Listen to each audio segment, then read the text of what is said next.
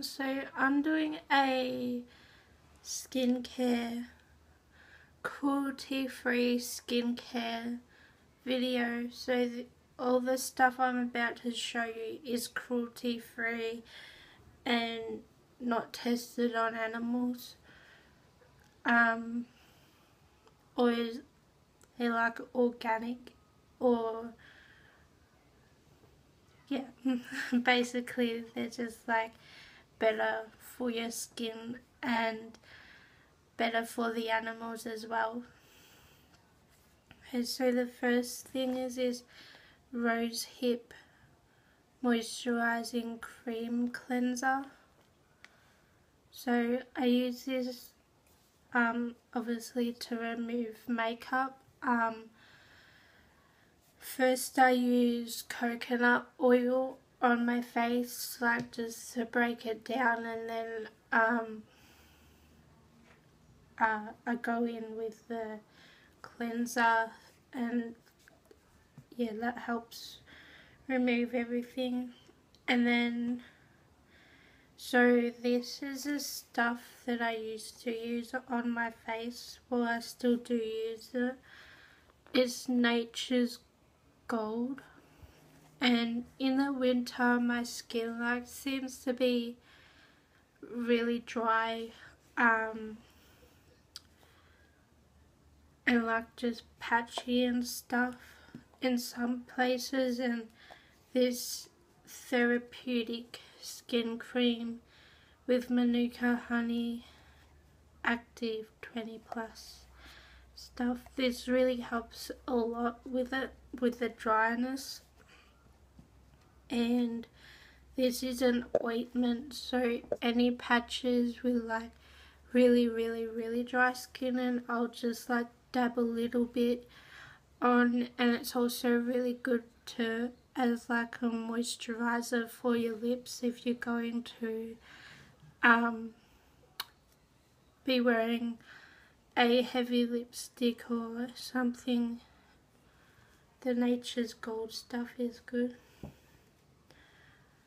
um the next is, thing is this Sukin um moisturizing restoring night cream. Um yeah. So I've recently switched to this um from using this because we're coming into a drier season now so I don't really need the um, the other one so I've switched to this and it's 100% vegan carbon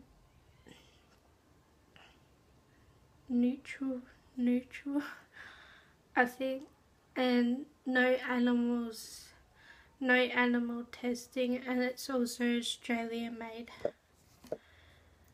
And then after the um no before moisturizing I use this Warship Skin Defense Antioxidant Serum.